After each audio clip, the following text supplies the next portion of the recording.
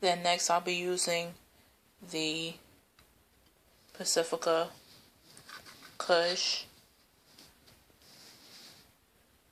eyeshadow. As you can see.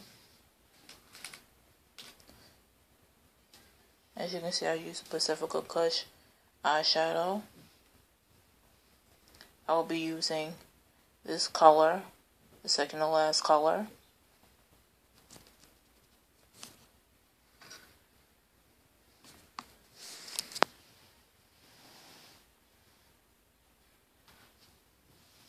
and then apply the color